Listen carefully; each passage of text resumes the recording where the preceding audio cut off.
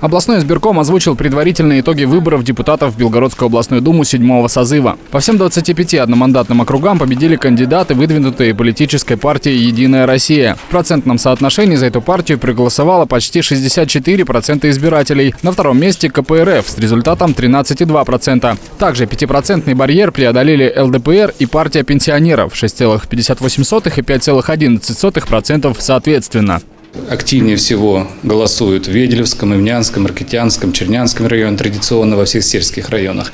И э, для города Белгорода скажу, что в городе Белгороде явка составила на 19.30 26,32%, то есть 75 тысяч, 75 тысяч избирателей на 19.30 приняли участие в голосовании. Я считаю, это очень э, хорошая явка для города Белгорода.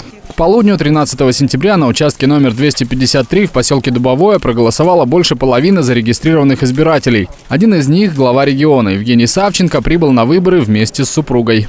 Спасибо за ваш голос. Спасибо.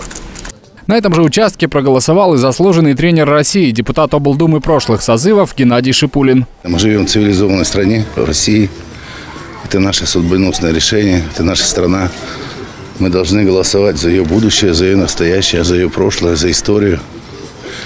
Мы не должны позволять искажать нашу историю. Мы должны голосовать за будущее. Явка на участке по области составила 54,46%, то есть от общего количества избирателей пришли и проголосовали 669 414 человек. Долг свой выполнил как гражданина Российской Федерации. Надеюсь, что остальные тоже так же выполнят наш долг. Постоянно на выборы хожу. Считаю важным выражать свое мнение выбирать людей, которые будут меня представлять. Окончательные результаты облсбирком озвучат на заседании 15 сентября.